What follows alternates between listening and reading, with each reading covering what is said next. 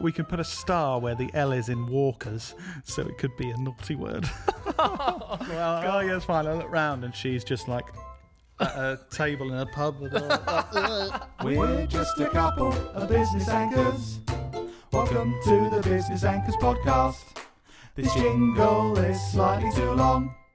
This jingle is slightly too long. Welcome to episode 32 of the Business Anchors podcast, the show where two business owners discuss the weird and wonderful world of business. Today we talk about why three people ended up unconscious at a charity walking event we organised, how walking is the new jogging, and Dan will be demonstrating his best impression.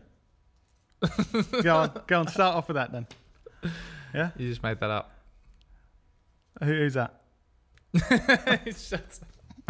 No, I, I think I wanted to talk about something positive Cool.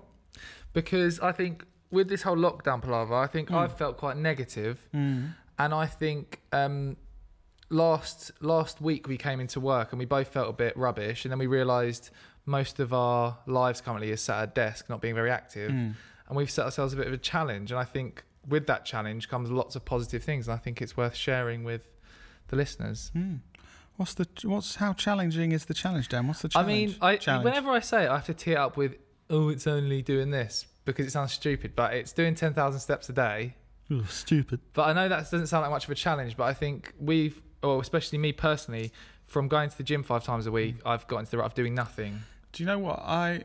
I mean, you saying it's not much of a challenge. I have to admit, I thought it was going to be less of a challenge, um, but I'm realizing when you have a busy life, and a lot of that life involves sitting down, being busy. So because Yeah. a lot of our work, I'm sat down, Mm. and I've got to do that for a long time, and then.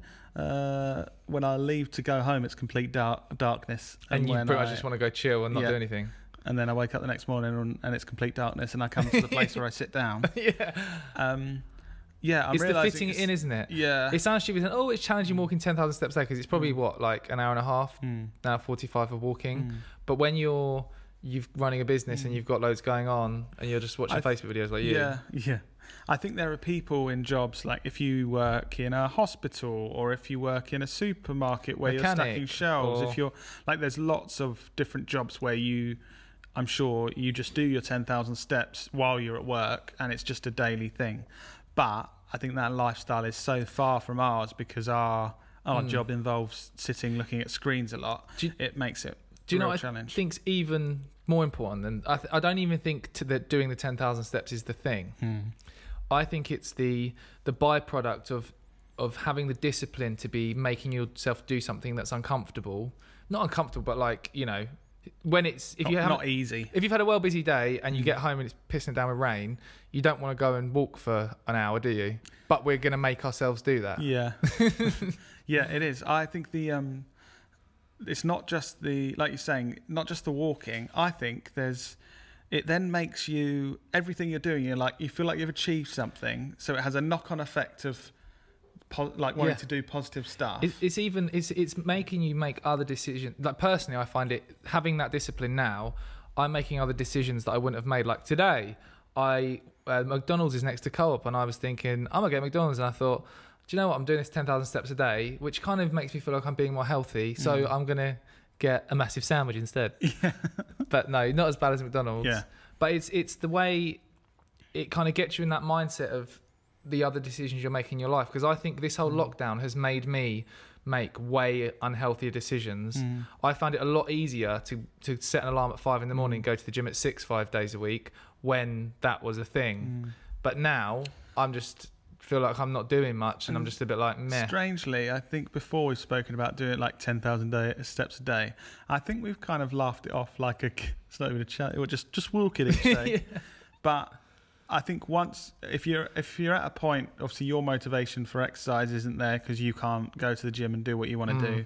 My motivation for exercise uh, is very rarely Yeah. anyway. Um, but yeah, we we can't do as much and stuff. I think now that is the thing pushing us to do other positive things, and yeah, and I think I think so. Like you said, I think it's just as much mental as it is like the physical thing of getting up and And if you think and right, so the last two days, you've only done it two days, so it's the classic. Ooh, we're at a high. uh, Is it two days? No, probably close to like 15 or 16, right? oh, oh yeah. When this comes out, we've been doing it for 16 days. Yeah. Day 13 was my hardest. but right, so day one, whenever day one was, Mm. first of Feb, Ages ago. I can't even remember. we like I you woke up early and did a 5k walk before, and we messaged each other at like half seven or something. Yeah, you'd already done- finished Was- 5,000 steps at half seven, I think. Yeah, I walked to work Mm. through a muddy field and got wet feet all day, which was rubbish. But and I did about seven thousand, Yeah. and it's it then makes you make those other good decisions. I think, Mm. yeah. And this, this sounds when when gyms are open again. I'm not going to be doing this. I'm going to go to the gym because that's my thing. Cheers. But no, no, I mean, no. If gyms open in Feb, I'm sticking to our challenge. Yeah. Yeah, yeah, yeah. But I think it's we we we went on a walk on that day last week when we both felt rubbish and thought, what can we do to Mm. actually sort of amp ourselves up a bit? I think as well. and this stupid little thing of walking Mm. ten thousand steps a day, Mm. I think it's already having such a positive impact, and I thought it'd be good to talk. There's about. also in the run up to this challenge, I was kind of trying to see how it could be achievable during my normal busy days. Mm. Because at weekends I find it quite easy because I like to get out and walk and stuff, Mm. but weekdays it's hard. And I think for for a lot of people with our sort of lifestyle with work where you're sitting down, I'm starting to realise there's some really cool ways I can get out for a walk and it's Mm. positively affecting work and stuff. So, for example, we've done when we've had things we need to discuss. We do like, walking oh, we need to have like a 20 minute meeting. If we don't need to be staring at a screen, looking at data or something like that, we go out and walk. and we come up with way better ideas when we're walking. I also I wrote uh, I had to write four or five scripts for short videos um, for a client, and the Mm. first pro the first stage of that process I used was I downloaded a new app called Otter. Oh, where did you hear about that? Did you tell me that? that? yeah, Uh, oh yeah, you did, didn't you? Yeah, I forgot. It's actually really good, isn't it? Yeah, and I basically I was I mean I must have looked mental, but I was walking, just talking to myself, talking through these scripts Mm. while I was walking, and then when I got to a good point, I was speaking, narrating it into my phone, and it put it into a document for when I got back, and that cre- like I, my oh just punched the oh we haven't punched the mic Oh, in a been a couple of episodes. There you go. Um, yeah, that creative process for me, I was much more creative than when I was sitting at my desk, and it, it it worked a lot quicker, and I enjoyed it, and I got my steps in. And I think I just wouldn't have thought of doing that. But now, not even for oh, get some steps in. I'm It's thinking more like next time I have to think of creative ideas if I'm Yeah. on my own, I might just go and ba- basically this sounds weird, but just walk and talk to myself because it actually works. lost it. I yeah. might, yeah, I might have to be a bit discreet. yeah. At the moment, we're on a Industrial estate in Manchester business park that's cold or working from home and no Mm. one's around, so it's easy. But so that's that's one kind of layer of discipline that we've set out. Hmm. in business, what do you think we've got made ourselves be disciplined into that, that's helped the business? Because I think it's I think it is about having this discipline to make yourself do something that feels uncomfortable. Like, is there anything that you think we've done in the business that we've had discipline around and made ourselves do it, even though it, it's more of a ball ache? To it's easier to not do it. well, almost everything, isn't it? Yeah, What you mean? Things within the business that are like for example, for ourselves do it? example, we have our monthly management meetings where Mhm. you have to spend a load of time looking at all our finances to get a load of data that we can analyze to see how we're Mm. doing. It'd be much easier not to do that. Mm. That's quite rubbish and boring to do that, yeah, but we do that. Yeah. Mm. I have to look through all of our sales data and then present it to you and dad Mm. to say how we're doing. And yeah, wh- when we're not doing very well, I have to I say why we're not doing very well, and it doesn't. It feels rubbish. almost every way that we structure things within the business, you have to make yourself do it because it's not necessarily what you want to do at the time, but it always has a positive effect. So, like you said, having time to discuss certain things or evaluate certain things, Mm. it always changes your direction slightly to Yeah. kind of realign. Oh, hang on, we're going a bit off track there. We need to Yeah. change something. Whereas it's much easier to just go with the flow. And I Yeah. think a lot of business, and sometimes we do it for too long with things. We go with the flow, and then we're kind of like, hang on, why are we Well, I think spending time? I think the one trait that you've really brought to this business that's made it had a really positive impact is your whole critical thinking and constantly questioning, which is really annoying sometimes, but because it's uh, it's a good thing. But you're constantly questioning everything, which helps us then evolve and do things better. Hmm. I think I would. Thanks. No, that's good. I Mm. think it is good because I think. Why do you think that? Well, I know that because you. You're Why do you know that? But no, you're constantly saying, "Is this is this the best we could be doing? Why are we doing this?" But I think what's good as well, I think previously you thought me questioning things was a negative thing of Mm. like kind of saying you're not doing good enough. Mm. But I think now, because I've been doing it for so many years, you understand that. Oh, he's not just a dickhead. Yeah. and ha- half the time, the answer is you get to a point where it's like, yeah, yeah, I think we're doing the right thing, we're doing enough, Mm. and that's fine. And then half the time, it's like, no, we need to change something. But it's not like a, yeah, you do, you dickhead. It's like, But yeah, it's, we should. it's it's questioning yourself like that. I that I think a lot of businesses don't do Hmm. because without you here, I'd be plodding along, not doing that, not questioning. And Without you here, I would never do anything, and I'd give away any money I ever earn. So So, it works out quite well. Happily ever after. Yeah. Um, yeah, Cool. walking. Yeah. But um, there's also on the topic of walking. Hmm. Um, you were going to say something about someone fainting in a charity walk. Yes. Yeah. I, I just we were, we were making. Oh, I was making notes about stuff to do with walking because I knew we were going to talk about Mm. it, and I thought that's something quite funny that happened that's a bit weird. So, uh, obviously, originally I wanted to bring it up because it's a, a, a charity event. I, Oh, well, uh, did you organise it, Lloyd? Yeah, yeah, yeah. yeah. You haven't actually Uh, gloated about your charity work for a while, so. Well, because I haven't done it. I wasn't allowed to volunteer at the homeless shelter this year. Oh, you weren't allowed. No, Why not? criminal record. no, no, What? As in they didn't let you? yeah, because of COVID. Oh, really? Yeah. So, I'll just So have what? to. So no one's. I just have to tell all the listeners I wanted to.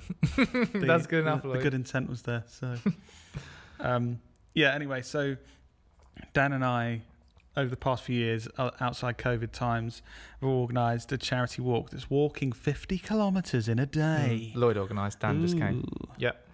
Uh, yes, but for a while we used to say that we both organised it.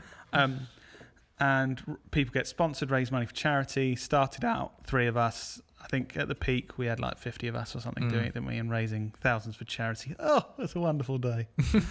um, but last time, I mean, I've had to reevaluate. Next time we do it, I'm going to have to look at uh, health and safety a bit Yeah. closely because um, three people fainted during the day. So uh, two of them, basically, we it, it's walking, but it's social as well, and there's there's pubs on the way. So sometimes people get tempted because you're walking for like, depending on how ten hours. how fit you are, between like Oh. ten and 12, 10 and thirteen hours. Mm, There's mm. probably been people that have Yeah. been that end of the scale. Yeah. Um, so it get you start at seven in the morning and then you're finishing at like seven, eight in the evening or whatever. And um, so people quite often like, oh, we've only got a bit to go. Let's have a drink. But surprisingly, like having a, a drink um, after walking constantly for 12 hours, um, there was a couple of, well, one, one lady that was quite skinny. There wasn't much of her. She basically like did the whole walk for like 12 hours and they're like, oh, I had a Ryvita last Tuesday. I'll be fine. I had like a couple of cereal bars and then down a gin and tonic. And then next thing I know, I'm kind of walking around and go, oh, thanks for organising this. Like, oh, yeah, it's fine. I look round and she's just like at a table in a pub. With all, uh, Oh. so, yeah. Sorry, I realise listeners can't see me, but just with her head between her legs, unconscious.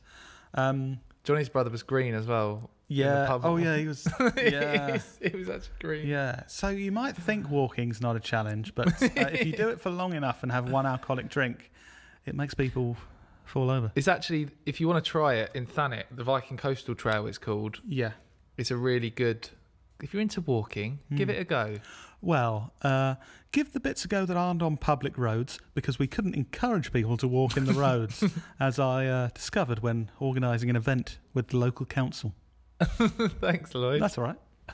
Um, but there's some parts that aren't on a public road and they're brilliant to walk on and safe. Is this your uh, terms and conditions voice? Terms and conditions apply. Um, cool. Yeah. Well, good. I just, uh, yeah, that was. So, listeners, oh, we should get listeners to join us doing 10,000 Yeah. steps a day. Um, join us. Cheers. um, no, if I any- genuinely, if, if one person starts to do this, I think just because the positive impact it, it has. okay. Well, if anyone wants to do ten thousand steps a day for a bit with us as a Mm. challenge, uh, Just call Lloyd on zero. Julian. Oh, no, no, no. That was the old CLTV number, wasn't it? Oh, was it? Don't Yeah. know. Um, get in touch and we'll set up a WhatsApp group or something like Mm. that where we can all post at the end of the day going, oh, I did. Yeah, it could be one of those where there's always one in the group. Oh, what you done? Uh, I've done 22,000 today, guys. You know, ah, fuck off. I'm, I'm still on 6,000 and it's Yeah. 10 o'clock at night, so I'm Yeah. going to have a We've got 11, your kid to bed. gonna have an 11 p.m. walk. Great.